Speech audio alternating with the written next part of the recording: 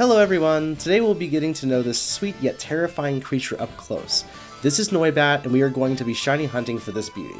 Many people may be terrified of our small friend here and think that Noibat is all scary and aggressive. But that's not true I think. They're just curious more than anything and I think we should all give them a chance to explain themselves.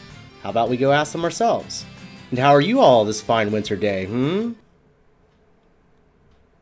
Okay, maybe maybe they are a bit creepy. I'm out of here. Moving on to the finer details, Noibat on a deeper level is pretty interesting. They have a frequency of 200,000 Hz. To put that in perspective, glass usually shatters at 550 Hz, so you don't want to find this bad boy around an aquarium or you'll be swimming with the fishes. I looked up the range at which humans can hear, and humans are the most sensitive to 20,000 Hz.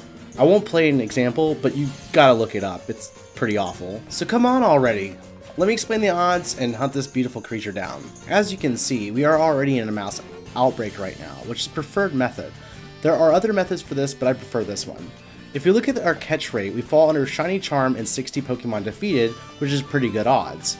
I would use 2 Salty or Herba Mystica and make a sandwich for better odds, but I don't want to raid and none of you can make me do that.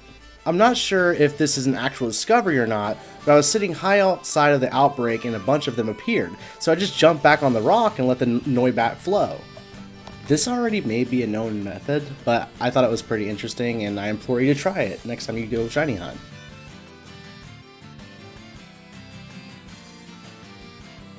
Eventually, after so many hours, she appears in all her glory. Let's go say hello. She seemed pretty nervous, but like her other companions didn't seem to bother by my presence, little did she know this was the moment I was waiting for. As one does, we slap out a quick ball and the rest is in the bag.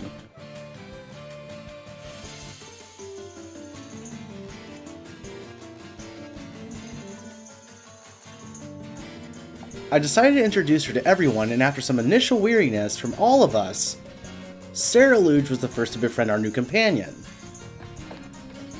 Aww. Well, it looks like she's gonna fit in just fine around here.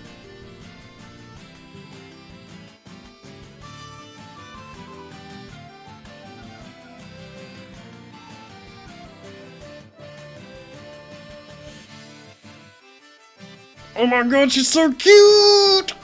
Okay, bye.